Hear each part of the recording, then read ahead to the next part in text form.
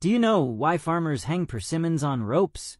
This is a traditional craft for making dried persimmon cakes. First, pick persimmons that are not fully ripe. After strict selection, attach them to a rotating shaft and quickly peel off the skin with a knife at an appropriate angle. Then string the peeled persimmons one by one on ropes and dry them in soft sunlight for two to three weeks.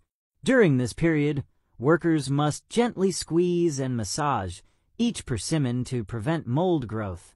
Once the moisture content decreases, take down the persimmons, knead them into a nice shape, place them in a wooden barrel, cover with a layer of persimmon peels, and store in a dry, well-ventilated area to allow natural sugars to crystallize into a fine white powder. After about 20 days, the dried persimmon cakes are ready, with a chewy outer skin, rich flavor, sweet taste.